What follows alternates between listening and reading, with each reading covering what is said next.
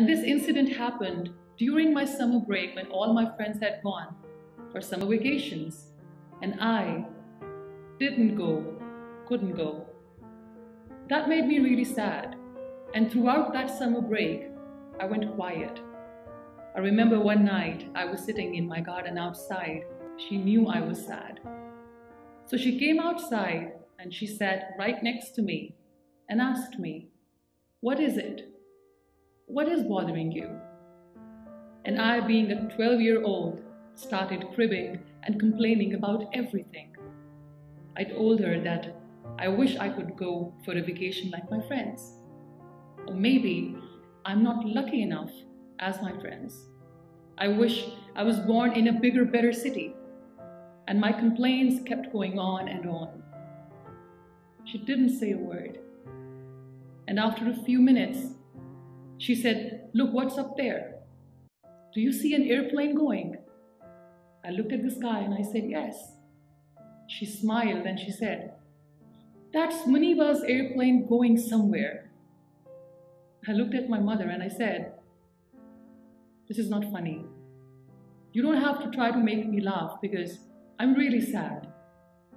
She smiled again and she repeated the same words again. She said, Look, that's Muniba's flight going somewhere.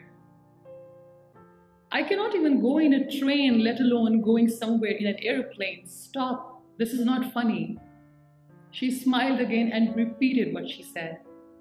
Look, that's Muniba's flight going somewhere. Instead of making me happy, I started crying more and I said, Mama, you will never understand what I'm going through. So I went in my room and I cried some more. Well, years and years went by, and that 12 year old became me.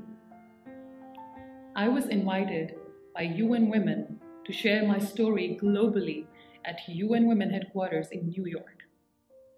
So when I was leaving for US for the very first time in my life, when I was leaving for the airport, I remember I gave a big hug to my mother. And when I was leaving, she held my hand tight and she said, So, Muniba's flight has finally arrived.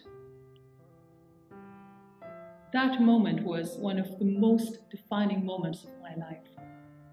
Because in that moment, I realized that when I said that, Mama, you will never understand what I'm going through, my mother exactly knew what I was going through.